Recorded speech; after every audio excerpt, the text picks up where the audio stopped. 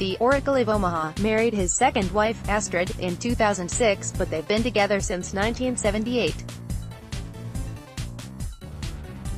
Scott Olson, Getty Images Warren Buffett married Susan Thompson in 1952. She ultimately left Warren to pursue a singing career, but they remained amicably married until her death in 2004. Susan also introduced her husband to Astrid Menks, who became his companion. Buffett and Menks married in 2006. Warren Buffett has had a less than conventional marriage for much of his life. while the investment guru remained married to his first wife, Susan, from 1952 till her death in 2004. He lived with Astrid Menks. Menks and Buffett didn't tie the knot until 2006, two years after Susan died. But family members said the unusual arrangement worked for all those involved. According to the Daily Mail, the trio would even send out Christmas cards together, signed Warren, Susan, and Astrid.